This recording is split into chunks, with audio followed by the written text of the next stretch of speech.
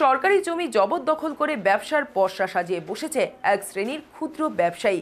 চন্দ্রপুর বাঁধ সংলগ্ন রাস্তার পাশে সরকারি অনুমতি ছাড়াই গড়ে তোলা হচ্ছে দোকানঘর। মঙ্গলবার বাধা দেওয়া হয় স্থানীয় শতদল ক্লাবের প্রতিনিধিদের পক্ষ থেকে। কয়েক মাস আগে বন্যায় ব্যাপক ক্ষয়ক্ষতি হয় চন্দ্রপুর, লাগোয়া, আড়ালিয়া যাবার বাঁধটি। এখনও পর্যন্ত বাঁধটির মেরামতের কাজ পুরোপুরি সম্পন্ন করতে পারেনি প্রশাসন।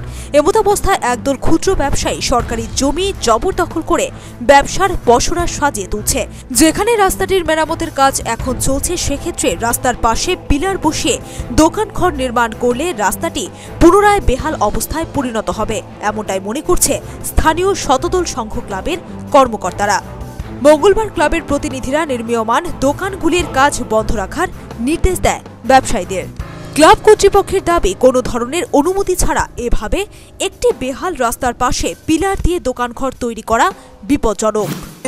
অলরেডি বিল্ডিং এর মতন তারা করে নিয়েছে। আরসিসি ফিলার দিয়েছে, কেউ কেউ স্ট্রাকচার করেছে। এখানে কে পারমিশন দিল আরসিসি করার অস্থায়ীভাবেও যদি দেওয়া হয় গভর্নমেন্ট চিন্তা করবে তাদেরকে জায়গা দেবে কিনা। এখানে পার্শ্ববর্তী একটা ক্লাব আছে ক্লাবকে অবশ্যই ডাকবে তারা। কাউকে কেউ কিছু ডাকেনি, কে বা কারা পারমিশন দিয়েছে, আমরা জানি না। আমরা সকালে এসে ওনাদেরকে বলছি যে আপনারা এখন আর কনস্ট্রাকশনে যাবেন না, কোনো কাজ করবেন না। যতক্ষণ পর্যন্ত সুরক্ষিত অবস্থা না হয়। আজকে দেখেন এই দোকানটা আপনারা দেখতেছেন অলরেডি চালু করে দিয়েছে, তার যাওয়ার কোনো এন্ট্রান্স নেই।